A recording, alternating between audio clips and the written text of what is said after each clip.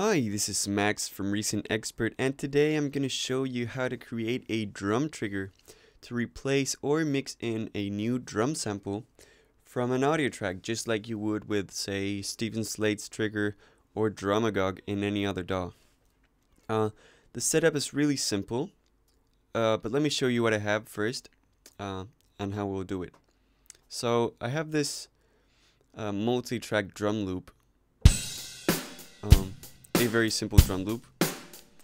And let's say I want to replace probably the snare for a more electronic snare. What you have to do is you have to create a pulverizer in the insert effects section of the sound you want to you want to change. In this case, it's the snare. So let's create the pulverizer. And we're going to use the follower to trigger a MIDI note, which is going to trigger a drum sample in a drums in a drum sampler. So let's go ahead and create a Kong. And what we're going to do is we're going to flip the rack around and cable the follower CV out into the gate in of one of the drum pads in Kong.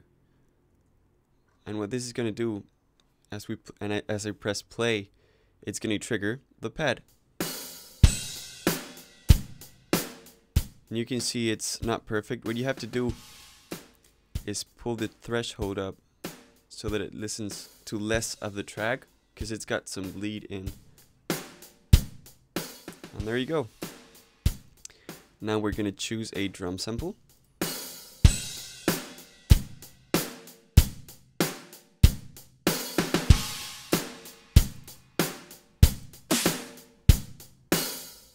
Let's say I like that snare.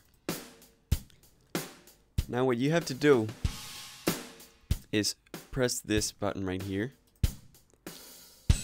and move this level, this velocity level uh, knob.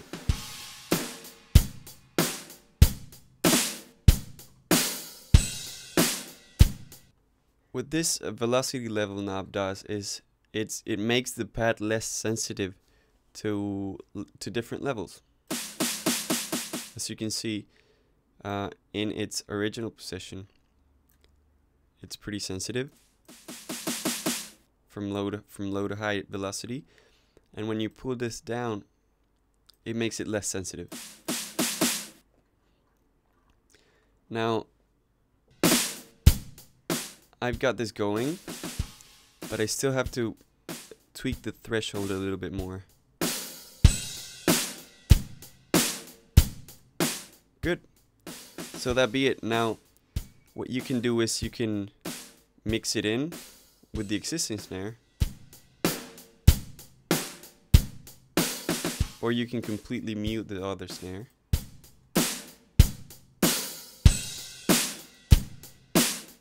And there you go. So that's how you create a trigger in Reason. So that be it for today again. This is Max from Reason Expert and I'll see you next time.